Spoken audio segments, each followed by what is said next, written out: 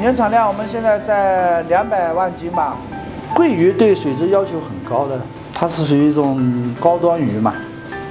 我们刚开始做鱼的话，才二十几块钱一斤啊，现在进的话才四十多了。我昨天进来都四十八一斤了，一车大概五万斤嘛，两百两百多三百万，每天至少有五到十万斤的活鱼。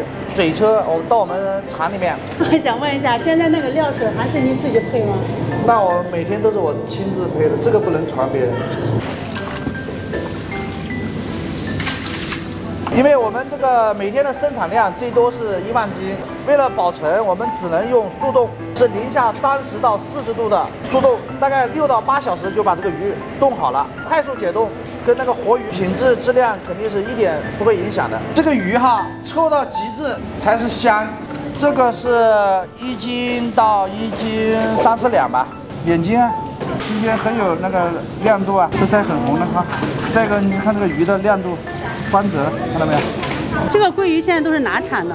这个广东，生产周期的话在七八个月到一年吧。那算鱼里边算长的哈。对对对。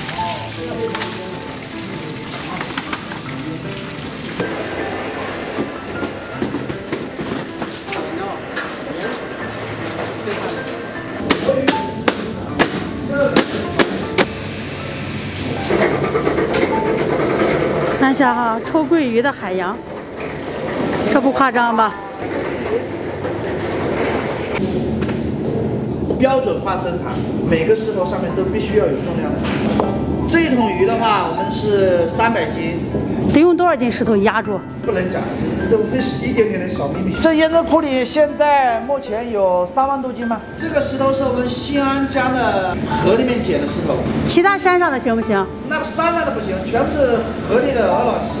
饭店订单的话，我们一车就发走。目前来讲是供不应求啊。这个行业也二十多年，我是第四代。烧鱼也有证书的，因为我是全中国目前就是。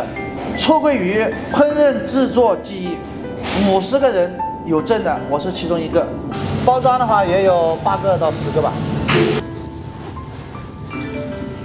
你看我们这鱼的肉质鲜嫩的哈。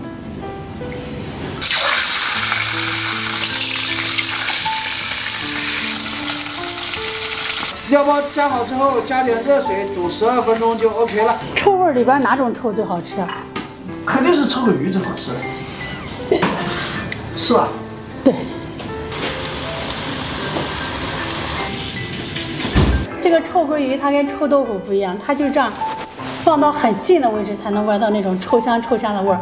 听说这个臭鳜鱼腌好了，它比新鲜的鳜鱼还要好，块块都是蒜瓣肉，看一下。哎，对。这口感特别的嫩滑，这种独特的臭香臭香的味道，他们说。烹饪的最高技艺就是臭到极致，就是鲜。这个臭鳜鱼应该就是形容这个臭鳜鱼的。